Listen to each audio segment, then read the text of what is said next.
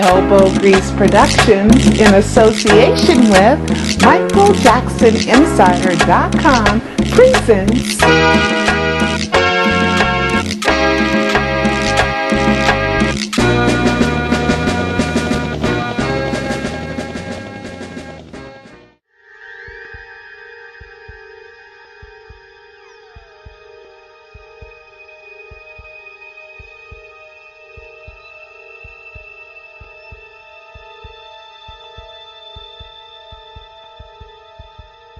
What would you say to AEG's argument that is, if the Jackson family was not so involved with Michael Jackson, they could help him and deal with his problems, how can you expect them to move forward? AEG was in the They've They knew exactly he needed them to respond. They could have easily told him, look, you go see the appropriate doctor and come back, we're not going on to the university. They're the only ones that really have the ability to do something about it, and they chose not to. Could you elaborate on that a little bit more? Again, a lifetime of knowing her son, a lifetime of about knowing, you know, what she heard Well, she- about her husband, she- and yet in in the three months that uh, Conrad Murray was there, they somehow were supposed to know what was going on. Well, they did know. Their email said he either has this physiological or chemical problem. They did know that, and they did nothing about it. He is deteriorating in front of their own eyes. He is losing weight. You saw the picture. They did know and they didn't do anything about it. The family, they talked about it, but they didn't know what was going on. He wasn't having those symptoms, as you heard them all say. He was fine. He wasn't rambling. He wasn't talking to God. He didn't have paranoia. He didn't look emaciated. That he didn't one- have any of those symptoms. That was one night, primarily. You don't become like that in one night. It was a progression. Did you not hear the evidence that over eight weeks he deteriorated in front of their eyes? That that is not one. No, that was an email that was sent to the tops of AEG to the CEO Tim Leiweke. This man had deteriorated over eight weeks and they did nothing. His family never saw that. You heard what his mother said. If she had seen all that, she would have taken to the hospital. But they didn't do that. They didn't get an independent doctor. They didn't do any of that. They didn't say no rehearsal until you get checked out and come back. They're the only ones that had the power to do that. The family couldn't do that. But What- AEG could. They were in the best position to do it, and they didn't do it. What's your assessment of this jury and an aggressive cross-examination involving a woman? You know, only uh, time will tell. I'm sure the lawyers are proud that, that, that they can aggressively cross-examine an 83-year-old woman, and I hope that that makes them proud that they were able to do that. But certainly people like Mr. Gongaware and Mr. Phillips that are working every day and employed by AEG, they weren't able to answer questions. They, they didn't remember hardly anything. There was 80 hours of this is it footage. How come we didn't see anything of Michael being sick or uh, messed up or talking to- to himself or because if you anything in that? Kenny Ortega's testimony, the, the video, the AEG cut it. Kenny Ortega never watched 80 hours.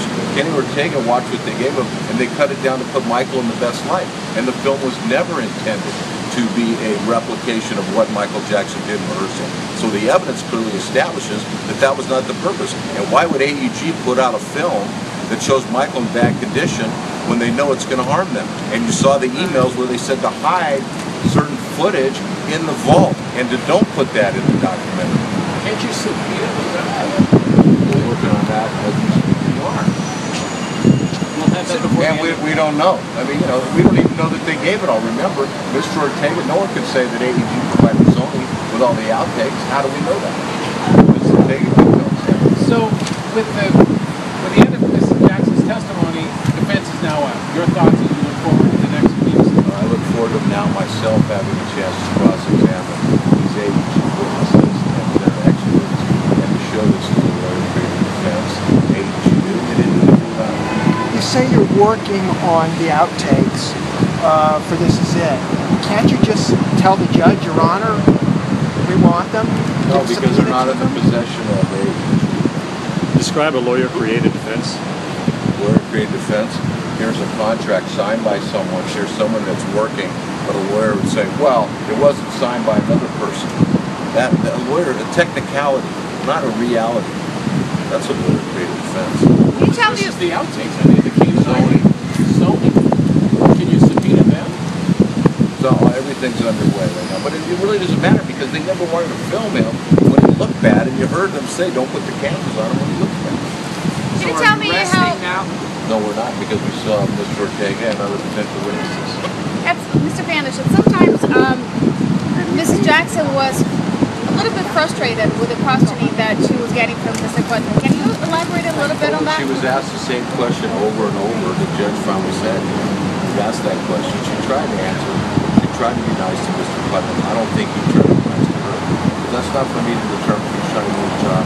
That's for the jury to assess.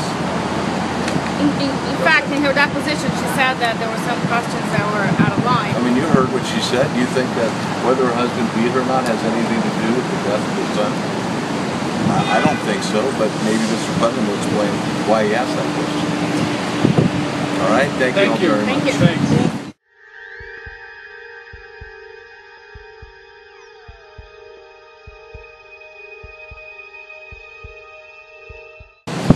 Mr. Putnam, what are you hoping the jury takes away? Hold up. Wait. Hold up. Commercial.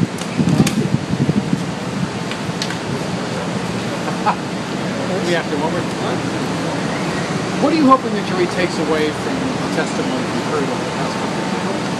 Um, by that you mean testimony of Mrs. Jackson? Mrs. Jackson, yeah. What are you hoping? What are you hoping the jury takes away from Mrs. Jackson's testimony? Well, I think that, uh, well, what, I- what I hope they take away is the truth of the situation. Um, she's been here for 12 weeks. Sure. Uh, Mrs. Jackson's um, been here for the last 12 weeks. They've been putting on their case for 12 weeks. And she was their culminating witness. She's the person that they're ending their case with, and that's what they did with Mrs. Jackson on Friday. Um, and so we had the opportunity to ask her a couple questions. Um, she'll come back later in our defense. We haven't done that yet. Uh, but we were allowed to ask some questions um, about the areas that they asked about on direct as their culminating witness. And what I hope the jury understood from that, and I'm sure they did, I think it was pretty plain, is that there are a lot of enormous inconsistencies between what has been being said and what the truth is. And Mrs. Jackson now made that clear. Um, you saw her testify that um, during her son's lifetime, she had reported to the world and to the press that he never had a problem with prescription drugs. Um, you saw her testify that during her son's lifetime, um, she had made statements to the world that it was known that um, her that her um, son had gone into rehab. And she also had made that famous statement that she made that we we watched, where she said that he uh, had never been, um, there had never been an attempted intervention by the family. These are things that were said throughout her son's lifetime. Um, and it was said so that the world wouldn't know the truth. However, um, she had to go on to testify to what the actual truth of the situation was. And as we now know, um, Michael Jackson had a long time problem with prescription drugs. So what had been told to the world during his lifetime wasn't true. Uh, we also now know that he went into rehab. So the idea that he hadn't gone into rehab is just not. And importantly, um, Mrs. Jackson herself was involved in the attempted intervention of her son. And Mrs. Jackson herself had conversations with her son about her concern about um, his use of prescription drugs. And you saw that what she said was that in each of those instances, um, her son's reaction was absolute denial. And in fact, he got really angry with her. He got really angry with his siblings um, at this intervention. Got really angry with personally when she tried to talk to him. And remember, these are years and years apart. I mean, it wasn't like it happened in one instance. And he got very angry. He adamantly denied these things.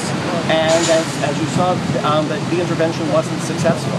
And I think that's the important thing for the jury to take away. Um, Mrs. Jackson has indicated, and we believe it to be true, that no one had a, a closer relationship um, than she did with her son, Jackson. And yet, um, did everything. She endeavored to ensure the world didn't know about her son's longtime problem with prescription drugs, about his going to rehab, about uh, the attempted interventions. And as a result, it would be impossible for people outside of his inner circle to know all of these things. And I think that's what the jury has to understand when assessing what actually happened in 2000. So what actually happened in your opinion in 2009? Well, I think what happened, we, we can see, um, because she's actually testified. So what happened was a concert company um, was called by Michael Jackson and his representatives. He contacted AEG Live and wanted to learn about the company and learn about what they did, what their business was, and how they did it. Michael Jackson then, after approaching AEG Live, decided that he wanted to go back into the concert business, and he wanted to go back into the concert business and work with the concert promoter and producer AEG Live. That was his choice. He asked to do that. He asked to meet with them.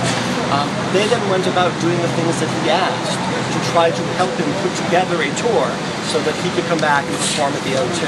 And that's what actually occurred here. As we've seen the testimony of, you know, uh, they had little interaction with Michael Jackson in terms of the production and promotion of that. They certainly saw nothing that would indicate that he was having any problems. And that's what the testimony actually showed.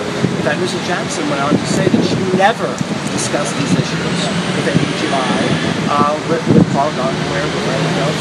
She never discussed Michael Jackson's or managers, business consultants, uh, agents. She, she never let them know what was actually happening in Michael Jackson's life because the entire thing here was they kept his private world private as best they could, um, and now they would like to blame somebody else for things that only they do privately. I think that's what the jury took away. AEG has been suggest. I'm s- forgive me. Jackson family's case is, is has been probing central questions. One, what did AEG executives know about Michael Jackson's drug use? When did they know it? And what should they have done about it? It seems you ask those same questions today of Katherine Jackson. Why? Explain why. Well, I ask those questions because um, Mrs. Jackson has indicated that what she's trying to do here is to go out and blame someone else for what happened to her son. And you say, it's understandable she loves it, but you also have to understand that all these facts have come out about what they actually knew and didn't, were not able to do anything about. And yet, she's now looking to blame someone else for the very things that she and her family knew. And, and that's why those questions arise. What did the think she Nation was of Islam credible? have to do with this? We're asking about that. Well, well, it's interesting that, that they tried to misuse this, which is really a shame.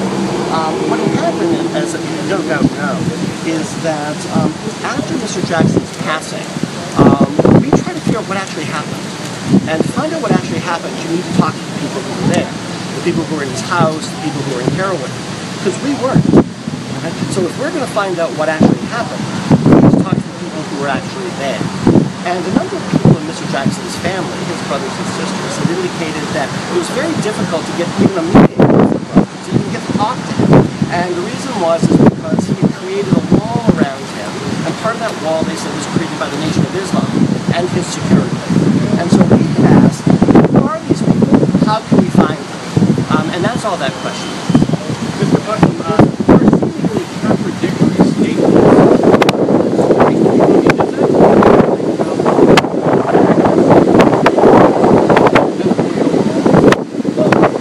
You know, it's an interesting thing to note. Um, as you'll see, every single question that was asked by her attorney, she could remember with spectacular precision. Um, but whenever I asked her similar questions for a period of time, suddenly couldn't remember. Uh, I'm not sure why that is. Um, it's absolutely true, and you've seen it, um, that many people have difficulty remembering specifics over a period time. So I'm not saying that it's in. It's just as interesting to note. Did she not recall everything, but whenever I would show her some testimonies of her daughter, of her son, one of her daughter's books, um, from her, even her own deposition testimony, uh, where she'd suddenly not be able to remember, and I would go to show her any of these bits of information that talk about the same event or she still couldn't remember even after looking at them. Mr. Is there a danger in aggressively cross-examining an 83-year-old woman who's lost a son? Of course. Um, and I would like to believe that I didn't. Um, I, I, I I just wanted to know the facts of her. And there was no reason to be aggressive with her. and I think everyone will agree I wasn't aggressive with her. I don't think that's necessary. That said, the only aggression we saw um, in the courtroom was by her attorney with her. When he started screaming questions at her and she broke into tears. Um, those, that was not me asking those questions. That was her. We also saw some aggression coming from her, too. So Well, She was combative. Uh, she, she was combative, but listen, I, I think that you can't blame Mrs. Jackson. Um, I think that it's, it's none of us want to find ourselves in a situation um, where we're having to confront the very public death of our child. I mean, while it's true that she brought this lawsuit, while it's true that she's been deposed many times um, nonetheless, that doesn't make it an easy situation. She seemed upset, accusing you of asking her why did Michael Jackson beat her. Uh, did you ask that question? She, she never asked that. No, I mean, she suggested on the stand that you had Her asked that question. said at Depo, you attorney said that that. You, question. you, you, sir, you should, you should listen to the testimony. I'll address Didn't it. she, We have any didn't, other didn't she bring that up on No, the she stand? didn't bring that up. Everybody She else did. Yes. Yes, she did. She but Yes, she did. did. You are now She- poised brought to it begin up. your defense. You're now look- moving into our But offense. did you ask her that question? Sir, I, I understand that you represent the plaintiffs, and I understand that you, you repeat their testimony every day. No, If you I'm- let me answer, answer other people's questions. Well, I- you would make it very easy. Let me finish. In, in terms of them, yes, they indicated that they're done with their case. She did say that. Um, that said, as you know, oh, I'm sorry. Um, they've indicated that they're done with their case and that we can now move on to ours. As you've seen, we've just called our first person.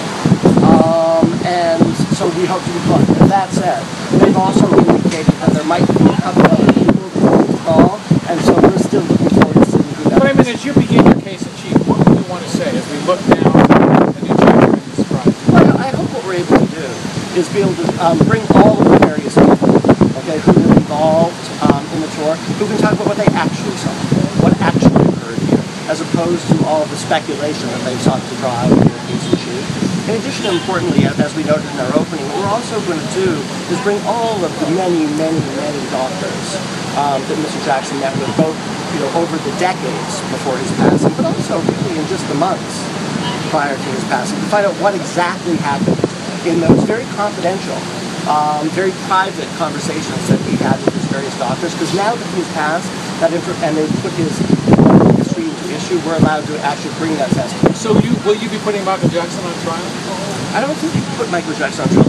There's, there's no question in anyone's mind, nor should there be, um, that Mr. Jackson had a real monkey on his back. Addiction is a very serious horrible problem. Eh, Excuse me. You said addiction, but they say that he was dependent because he had real issues, uh, uh, physical issues that he was trying to deal with, and uh, especially since they didn't find any drugs in his body except for uh, propofol, most of all when he passed.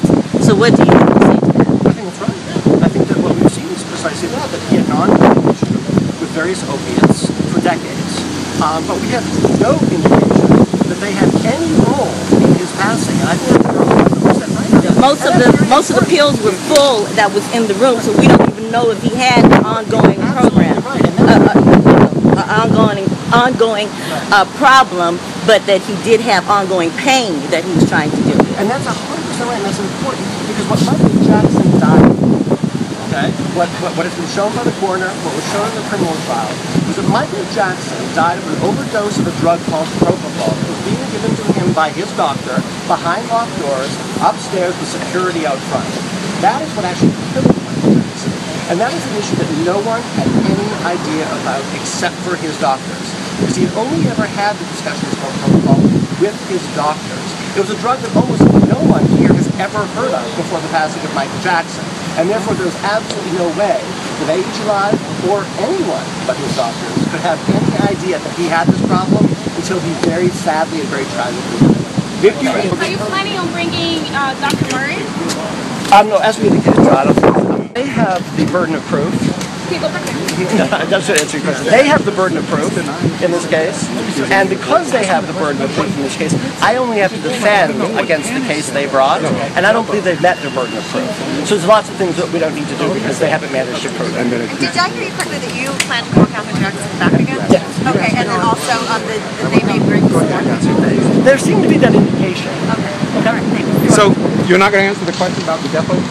Did you ask her if Sir, Joe beat her? Sir, as I'm sure you're probably aware, um, I understand. I understand you'd like to say you're not, but as you're probably aware, what you have done. I'm not on trial was- here. Uh, I'm asking you a question. She's Jo- Jo- Katherine Jo- Jackson. Would you like me to finish the Yes, answer? please, Or are you- as we've noted, uninterested in the answers? You just want to do what the plaintiffs have to say. Would you like me to actually give you the answer, Please, sir? please. The thing about depositions were that they are confidential. Okay, what occurred in those depositions was confidential at Mrs. Jackson's request. Therefore, I am not at liberty to go into the private matters that went into in that deposition. But she on the stand today mentioned it. She accused you of asking her Yes. that in deposition. Yes, she did.